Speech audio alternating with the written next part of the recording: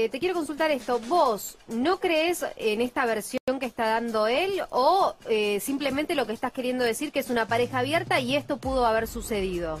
Las dos cosas. Nosotros tenemos libertades habladas eh, y no niego que, que, Roberto le pueda haber dicho alguna cosa a él y él le haya respondido. De ahí a que Roberto se haya enamorado de este pibe, o andás a ver qué fantasía pasó por la cabeza de él, porque viste que estos pibes se, imaginan, no sé, viste que, que, conocieron a Valentino y que se van a hacer la gran América. A ver, no me decía lo mismo cuando en la cama conmigo. esto, yo eh, tengo absolutamente confianza en la persona con quien estoy. Si él le tira los galgos a un pibe o si yo lo hago, lo hablamos y la verdad que a esta altura de la soirée no nos preocupa, chicos. Y de nosotros no solamente no van a conseguir nada, ni una beca, ni nada por las malas. Ahora, venime a pedir algo por las buenas y nosotros somos los más generosos y ustedes, chicos, nos conocen a Roberto y a mí.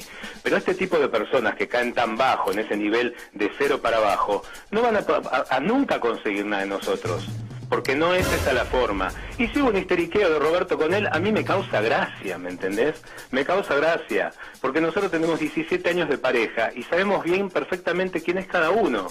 Así que lo que este chico Ángel, que cara de angelito no tiene para nada, diga ahí sentado donde sea, a mí me tiene absolutamente sin cuidado.